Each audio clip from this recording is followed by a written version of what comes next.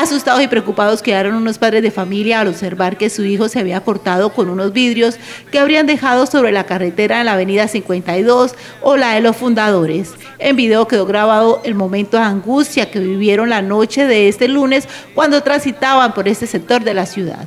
Estamos acá sobre la avenida eh, del ferrocarril, más exactamente aquí en una vidriería que hay en este local 16 con 47, Avenida Ferrocarril número 1647, donde acabamos de sufrir un incidente con el bebé.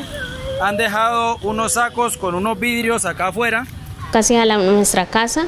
Eh, saludé a una vecina y cuando nos percatamos, mi esposo se percató de que el niño le había pasado algo, él empezó a quejarse y a llorar y no me había dado cuenta que hasta que empezamos a ver el chorrero de sangre y la angustia de nosotros porque no sabíamos qué era lo que había pasado, cuando nos dimos cuenta era que habían dos costales con desperdicio de vidrio, pedazos de vidrio y la vecina nos dijo que era que hay que dar una vidrería. Al parecer, los costales con vidrios habrían sido dejados por personal de un negocio que trabaja con este material sobre la avenida Los Fundadores.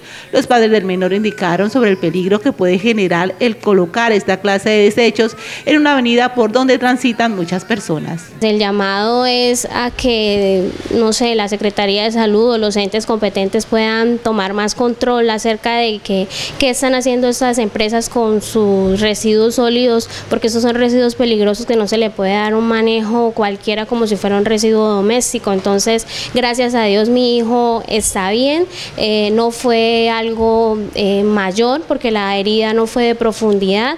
El menor fue llevado a un centro asistencial donde recibió los primeros auxilios. Por fortuna fue una herida superficial y fue tratada con antibióticos y este hecho no pasó a mayores. El llamado a los propietarios para que tengan más cuidado a la hora de dejar esta clase de objetos peligrosos en lugares donde se pueda presentar un hecho que lamentar.